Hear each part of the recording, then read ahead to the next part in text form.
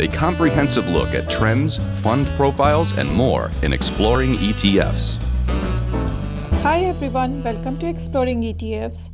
I'm Nina Mishra, and today we are talking about single stock ETFs. And uh, in last week's video, I mentioned some interesting new ETFs, and I also talked about some interesting new trends.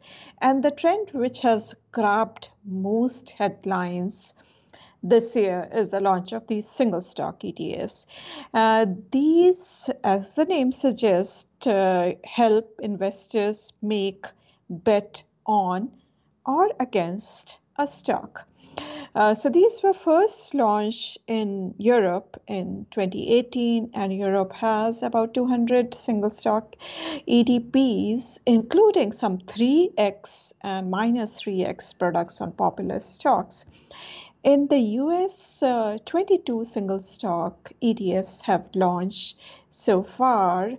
And uh, though the SEC approved these products, uh, they issued a number of warnings. Uh, officials made a lot of comments about the risk of these products. And, uh, you know, when we are talking about single stocks, there is no limit to the number of products that are possible. Uh, they, there are about 200 more already in registration. Some interesting ones uh, make uh, help investors make uh, bets uh, on uh, popular foreign stocks that do not have ADRs uh, in trading in the US, and those would be convenient. So, like if you want to bet on Saudi Aramco or Samsung, those ETFs would uh, be really convenient. Uh, then there are some interesting inverse uh, ETFs uh, on uh, single meme stocks like um, GameStop, AMC, and Robinhood. So we will see a lot of developments in this area. Now, what investors should remember about these ETFs, uh, you can use these ETFs to make a short term bullish or bearish bet against a single stock. And uh, as I mentioned, uh, regulators have warned about the risk of these uh, ETFs, uh, and it it is always good to have more products uh, because investors have the flexibility of using those products. And uh, so these are powerful uh, instruments, but they should be used only by investors who understand them properly. They should be used for very short term. They are not meant for buy and hold investing. One potential use that I can think of is hedging against uh, company specific events or some particular market event. So, for example, if you hold already hold shares of Tesla in your portfolio and Tesla is uh, expected to come out with its earnings, which may not be favorable, you believe. So, as a short term, you can use these ETFs uh, uh, to hedge against uh, that particular move.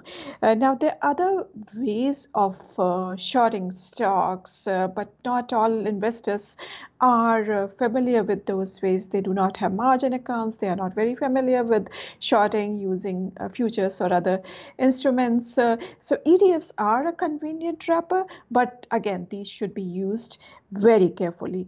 One thing which investors should remember that uh, these are balanced daily. So if you hold it for more than a day, then you could do much worse than what you would expect, particularly if the underlying stock is very volatile. Uh, you could also get better than what you expect if the stock is trending and low volume. Uh, but again, these should be used for short term trading only. Uh, and very short-term trading. Uh, so let's take a look at uh, ETFs that we currently have in the US. So AXS was the first one to launch the single stock leverage ETFs. Uh, the one Tesla Bear ETF TSLQ, which, as the name suggests, provides inverse one-time eh, inverse exposure to Tesla shares uh, and rebalances daily TSLQ. This is the most popular so far. This has already gathered uh, about uh, 45 million in assets, and we know that Tesla stock uh, is uh, has its uh, haters and lovers. People love to bet on or against Tesla. So that is the reason why this has uh, seen most interest so far. But AXS also offers uh, inverse and leverage products on other popular stocks like Nvidia, PayPal, Nike, and Pfizer. Uh, and you can take a look at uh, Tesla Bear ETF that I mentioned, uh, which has uh, gained maximum amount of attention, interest, and this is doing very well today because the market is plunging after the CPI report. Uh, Direxion also launched some ETFs. So Direxion products uh, help you make bull or bear 1x, uh, minus 1x or 1.5x uh, bets on popular stocks like Apple, Amazon, Google, Microsoft, and Tesla. Granite Shares has also launched some ETFs. Uh, so among uh, the ETFs that they have is 1.75 long Apple and uh, 1.5x uh, Coinbase and also 1.25x Tesla, short Tesla. These are the ETFs launched by Granite Shares. But as I mentioned, uh, we will see many more such ETFs uh, in the coming months. And it's always good for ETF investors to have more choice. But these products should be used very, very carefully check out zacks.com slash promo for an interesting offer and also make sure to subscribe to our videos and i'll see you next week